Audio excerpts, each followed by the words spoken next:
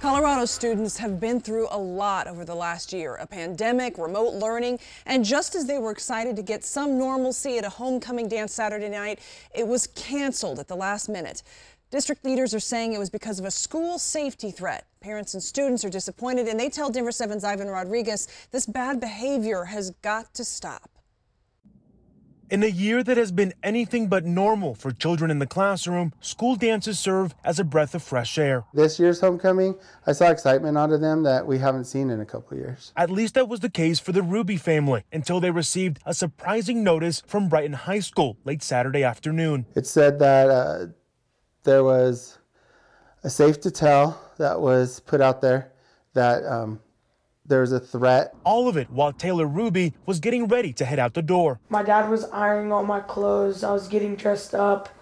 And then I was like really excited to get all dressed up and stuff. And then out of nowhere, we get a call and it's canceled. In a statement, the principal of Brighton High School said in part, We have received some information regarding a potential threat to the safety and security of our students at the homecoming dance tonight. We are currently working with Brighton Police Department on this situation. We learned that it was supposed to be a drive-by shooting, which would be quite dangerous for students if we were outside. The principal says the dance was canceled out of an abundance of caution. This incident comes a few days after 27J schools released a letter citing an increased number of school safety and student-related discipline concerns. Those include theft, vandalism, fights, and extreme blatant disrespectful behavior toward each other and staff staff and sexually harassing behavior and language. It's got to stop.